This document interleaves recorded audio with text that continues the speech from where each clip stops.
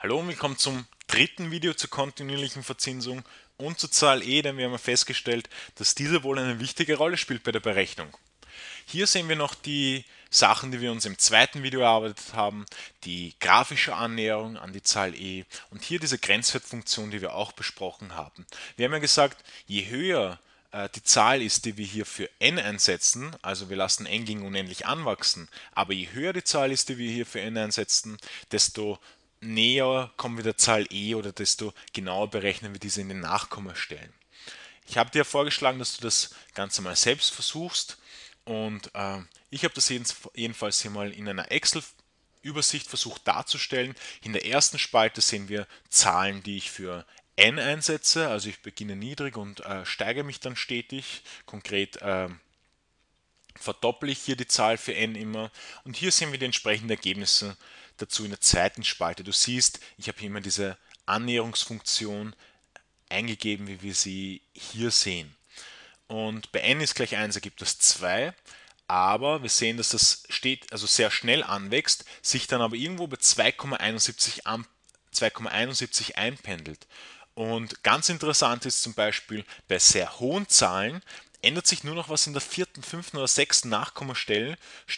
Also bei, also ganz egal, ob ich ja, grob gesagt 16,7 Millionen, 8,3 oder 4,1 Millionen eingebe, es ergibt bis zur fünften Nachkommastelle 2,718281, sogar die ist noch äh, dieselbe. Und das ist genau das Interessante an der Zahl e. Es ist eine transzendente und irrationale Zahl. Also diese Nachkommastellen gehen hier ewig weiter und wiederholen sich nicht in einem bestimmten Muster. Also es ist kein Muster äh, hier ähm, dahinter erkennbar zumindest. Und äh, das zweite ist, dass äh, man die Zahl e nicht als Division oder als Bruch errechnen kann, genauso man kann sich der nur annähern, so wie wir es hier machen, indem wir n äh, hier erhöhen. Und was auch noch besonders ist an der Zahl e oder interessant ist, dass die Zahl e vor allem in der Natur vorkommt, zum Beispiel beim Wachstum von Bakterienstämmen oder von Waldabschnitten oder beim radioaktiven Zerfall, also bei Halbwertszeiten. Und auf der anderen Seite dann wieder in der Finanz Finanzmathematik, also bei kontinuierlichen Zinsung vorkommt. Das, das habe ich persönlich sehr spannend gefunden. Jetzt haben wir uns in den ersten zwei Videos angesehen, naja, wie man sich dieser Zahl e annähern kann. Jetzt wollen wir doch mal versuchen, das Ganze anzuwenden. Vorher aber noch ein paar Vereinfachungen, die wir uns hier erarbeiten, dass wir hier das gut verstehen und dann auch gut anwenden können. Erstens, für den Zinssatz werde ich jetzt immer die Variable r verwenden. Bis jetzt habe ich ja immer einen künstlichen Zinssatz von 100% angenommen und in Zukunft, also für die Fürs restliche Video und auch fürs letzte Video für die kontinuierlichen Zinsen werde ich jetzt R verwenden. Das ist der Zinssatz per anno, also jährlich. Und den kann man jetzt einerseits in Prozent ausdrücken, zum Beispiel 25 Prozent äh, wäre als Dezimalzahl angeschrieben 0,25.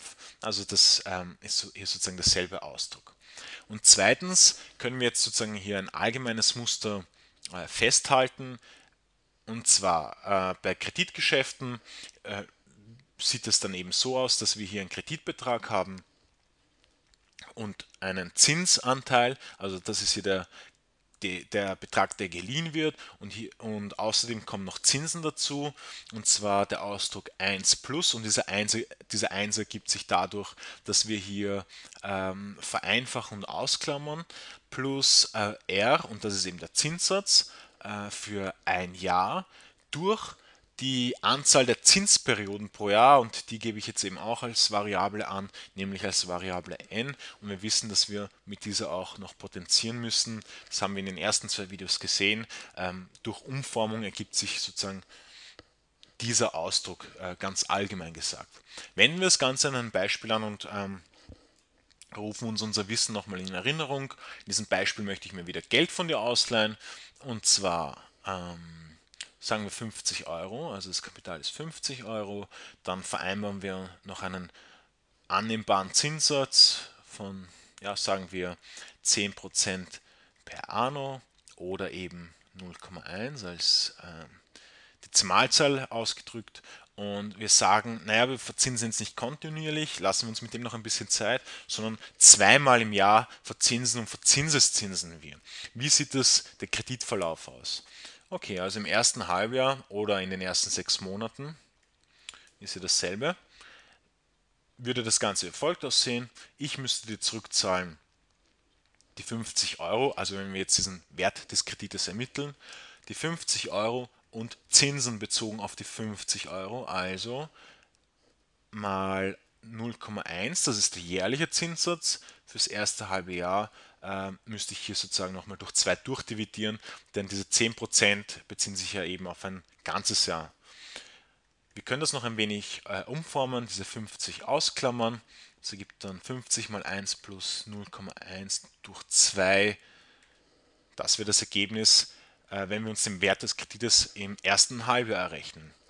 Fassen wir das noch zusammen, dass ich mir ein wenig Schreibarbeit spare und zwar sagen, der gesamte Ausdruck ist hier x und sehen uns das Ganze jetzt an fürs zweite Halbjahr. Also wie gesagt, das ist jetzt alles nichts Neues.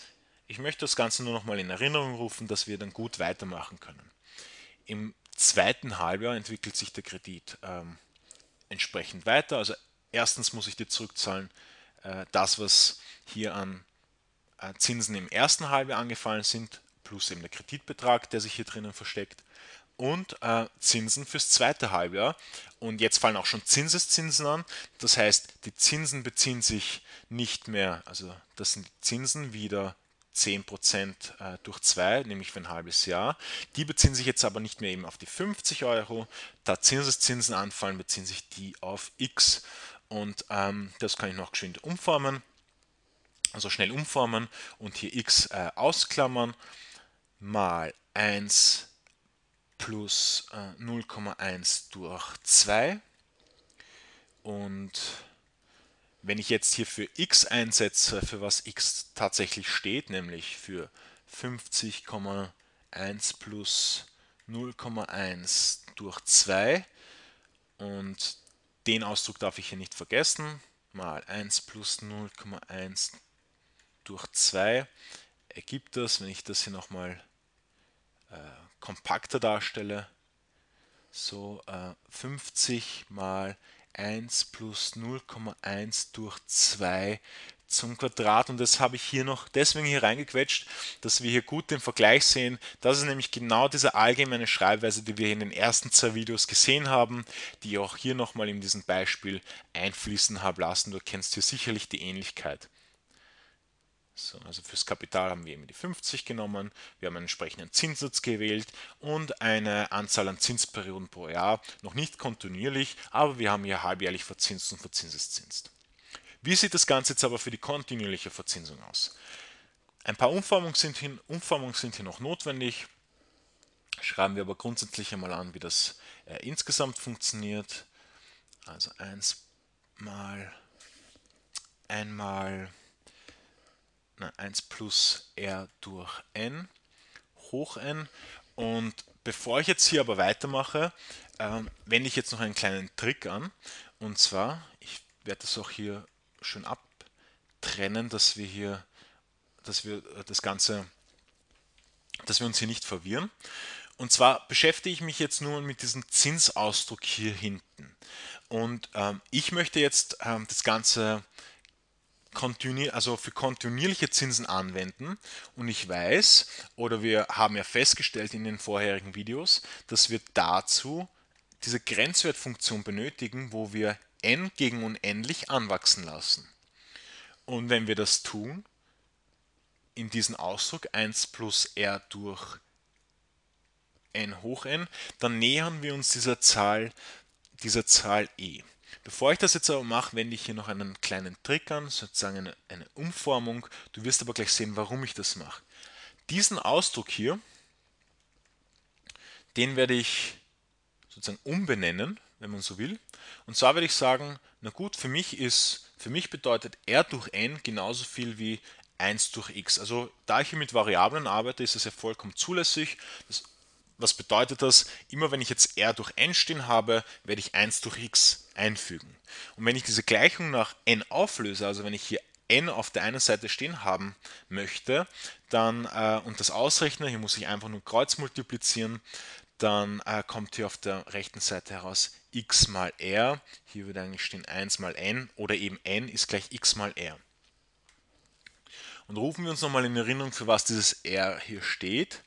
Dieser, dieses r ist nämlich ein konstanter Zinssatz, also der ändert sich nicht. Und wenn das gleich bleibt und wir sagen, n strebt gegen, unendlich, dann äh, wäre es nur logisch zu schlussfolgern, dass auch x gegen unendlich strebt, denn wenn das eine, eine Gleichung ist, dann müssen wir beide Seiten gleich behandeln und wenn der Zinssatz r konstant bleibt, dann muss auch x sozusagen gegen unendlich wachsen.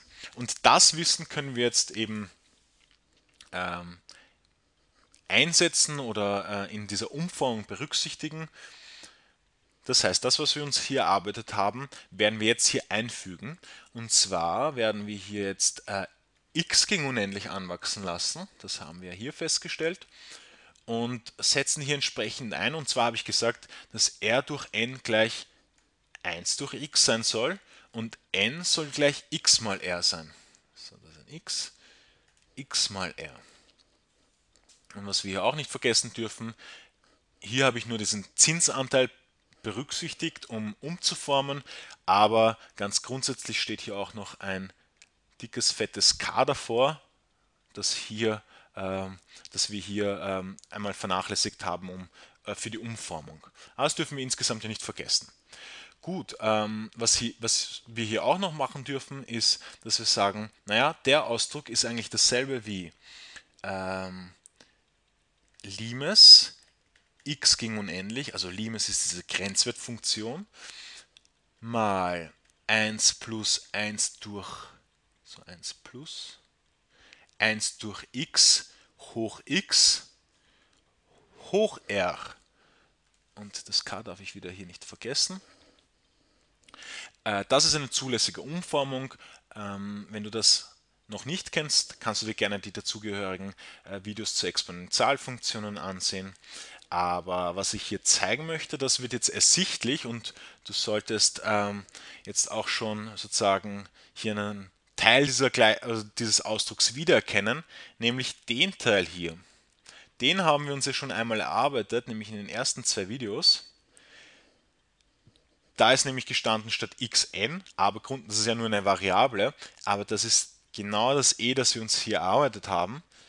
Äh, wo haben wir das genau hier? Ja, das haben wir uns schon erarbeitet. Das ist genau der Teil hier. Der Teil. Den sehen wir hier unten wieder. Das ist das E. Jetzt müssten wir nur noch anschreiben, dass sich das auf das sozusagen Kapital hier bezieht und entsprechend den Zinssatz hier noch äh, im, als Potenz nehmen oder mit dem Zinssatz zur Potenz nehmen. Und das wäre äh, eine entsprechende Schreibweise, um hier kontinuierliche Zinsen zu berechnen. Und wenn ich das in, das in die Angaben von vorher einfließen lasse oder die Angaben von vorher hier einfließen lasse, um genau zu sein, also diese 50 Euro und jetzt kontinuierlich verzinse, also nicht halbjährlich, dann muss ich das mit E rechnen und wir dürfen uns hier nicht verwirren lassen. E ist eine Zahl, also 2,71 irgendetwas. Ähm, und die muss ich hier noch mit dem Zinssatz, also 10% zur Potenz nehmen, also 0,1, diese 10% als Dezimalzahl ausgedrückt. Das werde ich hier nicht ausrechnen, das hebe ich mir fürs nächste Video aus auf, wo wir uns dann auch noch weitere Beispiele ansehen und das Thema der kontinuierlichen Verzinsung dann abschließen werden können. Also bis dann.